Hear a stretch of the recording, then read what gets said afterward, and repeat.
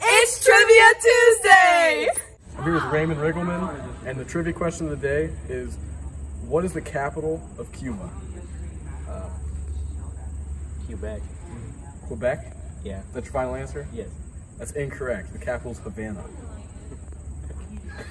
Okay. I'm here with Sophie, Delaney, and Brooke for the trivia question of the day. What does Hakuna Matata mean? Be happy. Uh, no worries. Uh, live peacefully. Is that your final answer? Yeah.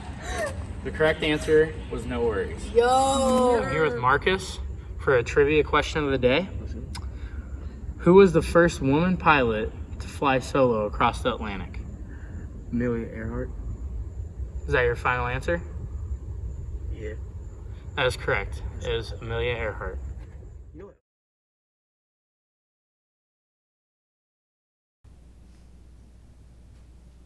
Good afternoon, Geneva.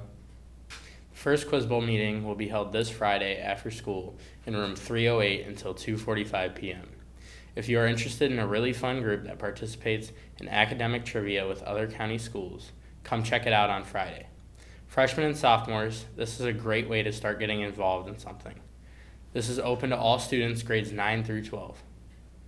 The following schools will be visiting on these dates Notre Dame College on Monday, October 18th, Cleveland State on Tuesday, October 19th, and Edinboro University on Wednesday, October 27th. If you are interested in learning more about these schools, please sign up on Google Classroom. Track and field open gyms are every Tuesday and Thursday from 2:30 to 3:30.